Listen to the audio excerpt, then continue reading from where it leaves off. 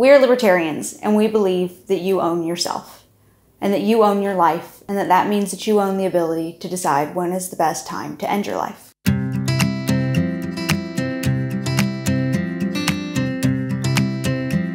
We understand that this is a really sensitive subject for a lot of people, but it's also a really simple matter of whether you own the ability to decide what kind of death is right for you or whether that right belongs to someone else or some other entity. We believe that when it comes to end of life decisions, there are no easy choices and that each person has to make that decision for themselves, with their families, and with all of the individual characteristics that go into it without the rest of us having our opinions about it. And that's very difficult for us to do as a society and on a universal level because there will always be difficult cases. But in those difficult cases, the people who know best are the people who are living them.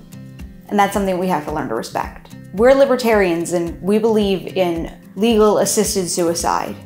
We believe that if a person is facing a terminal illness, they should be allowed to choose to end their lives peacefully and pain painlessly rather than being forced to endure a long and drawn out death from a terminal illness. We believe that people should be given the opportunity to live and people should be encouraged to live, but that in the end, if a person is allowed to make their own choices and own their life, then they also have the ability to choose when is the time that their life should be over.